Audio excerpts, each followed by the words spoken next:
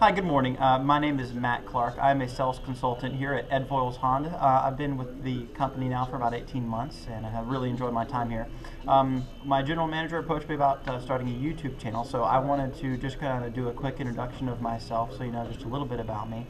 Um, I did um, come out of the golf business to get into the car business. It was kind of a leap of faith, but it's really paid off. Uh, selling a product that uh, you really believe in and own personally, I think has uh, helped me succeed in my job. Um, I did uh, achieve the silver level status of a sales consultant last year, so pretty honored to have earned that in my first full year of selling.